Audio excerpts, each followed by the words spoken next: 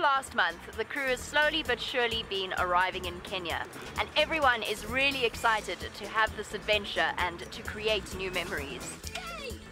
My favorite part of the Mara so far has just been the sheer excitement of exploring somewhere new and basically building a memory on each and every single road. Maybe not every single road because there's quite a few of them, but certainly when we drive down some of the main roads that we spend time on, being able to think, oh, that's where I saw that, or that's where I saw that, that's what I'm most excited about.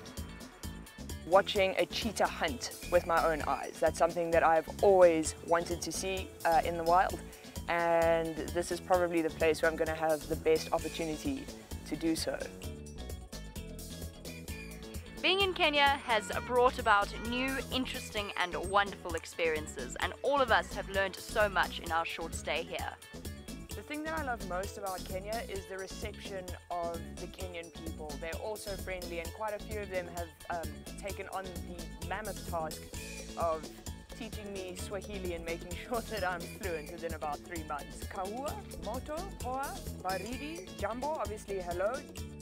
Watching all the people of the land with their domestic animals live in the same space as the wild animals. You can see a Maasai warrior wandering past with his cattle with elephants in the background and I just think that's really special.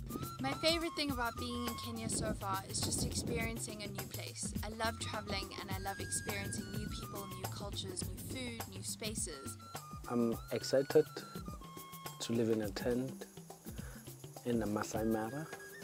It's my first time being in a tent and, and wanted to experience this kind of, uh, it's, it's gonna be excited for me. I'm loving it. Uh, it's more like they say it, it's a Bantu home because I'm also part of Bantu, I'm a, I'm a Zulu. Yeah, the, the way the place it is in terms of environment, it's, I'm at home. I'm, I'm at home in a way. Safari Live has arrived in Kenya and it's truly starting to feel like home. Want to continue your safari?